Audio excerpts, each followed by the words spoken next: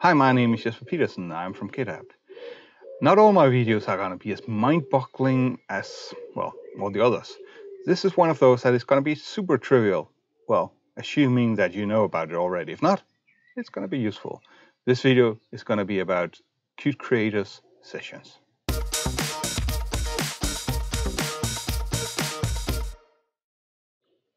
So in your daily work, you might work on multiple different things on multiple different projects, or you might have a spare time project that you're working on with the same computer, or you might have some experiments so that you just want to do from time to time in in in uh, C++ or in Qt or whatever.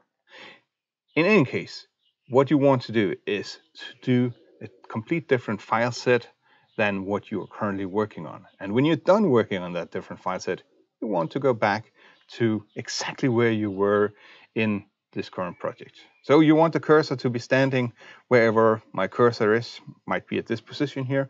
I want to be able to go back to the files that were loaded uh, and so on. And that is actually possible using Qt Creators sessions.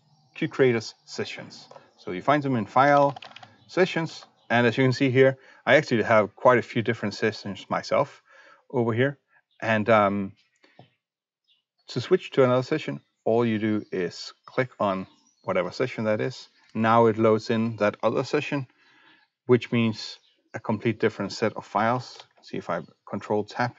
This, these are the files that I've been, been accessing most recently in this session here.